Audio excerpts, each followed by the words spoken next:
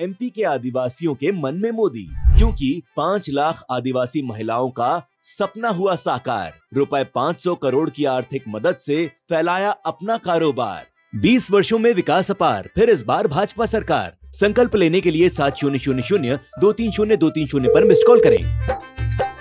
जिला न्यायालय सिंगरौली में राष्ट्रीय लोक अदालत का आयोजन किया गया। इसका मुख्य उद्देश्य आम लोगों को अनौपचारिक सस्ता और शीघ्र न्याय प्रदान करना था।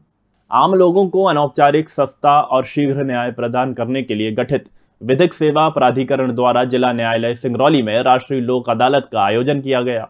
इस मौके पर जिला न्यायाधीश आर एन चंद ने बताया कि लोक अदालत में वैवाहिक, पारिवारिक विवाद, आपराधिक, भूमि अधिग्रहण, श्रम विवाद, कामगारों के मुआवजे के मामले, बैंक वसूली एवं विद्युत बिल वसूली से संबंधित मामलों को लोक अदालत में सुलह हेतु रखे जाते हैं। सस्ता, सुलभ न्याय पाने के लिए सभी लोग लोक अदालत का लाभ ले सकते हैं।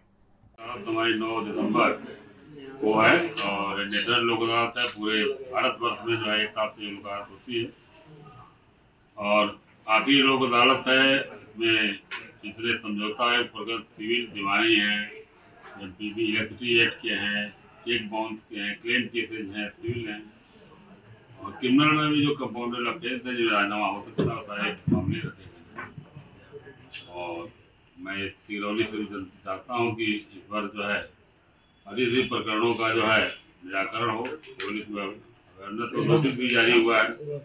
हमने उनको चीटिंग के लिए बुलाया है और समझौते की बातचीत हमारी टीम भी बना दी है, सारी चीज़ें कार्रवाई करते हुए। मीडिया से भी मेरी अपेक्षा है कि अवेयरनेस की बातें आम जनता तक एमपी के गरीब के मन में मोदी, क्योंकि पूरी हुई पक्की छत की आस, चवालीस लाख गरीबों को मिला आवास।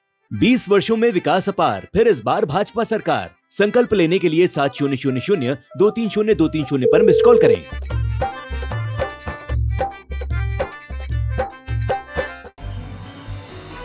आप देख रहे हैं दखल न्यूज़।